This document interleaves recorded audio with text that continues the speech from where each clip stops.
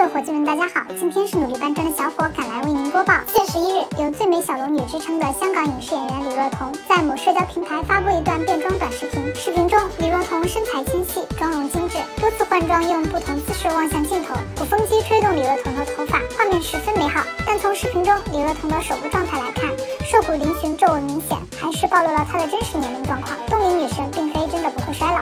不过，我们经常能在社交平台上看到李若彤是个健身达人。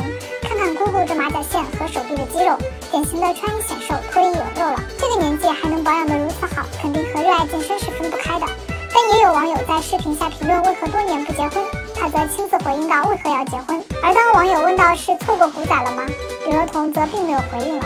李若彤和古天乐的阳光小龙女形象一直是很多人心中的白月光。而李若彤在二零零八年和相恋了十年的商人男友郭应泉分手后，就再无感情传闻，单身至今。多一个人活得开心自在，也是很多人所羡慕的了。好了，本期播报到这里结束了，看完记得给努力的小伙点关注哦。